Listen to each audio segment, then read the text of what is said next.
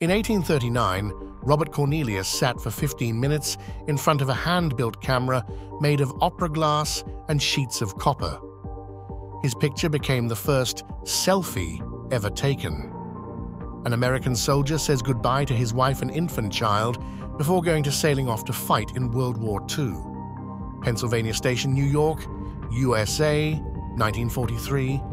Roland, an 11-year-old newspaper carrier, New Jersey, USA, 1924. Smoky ruins after the 1906 San Francisco earthquake, California, USA, 1906. A young girl with Down's syndrome. Her photo was taken inside an asylum in England in the 1890. Step back in time, hit subscribe for a vintage adventure.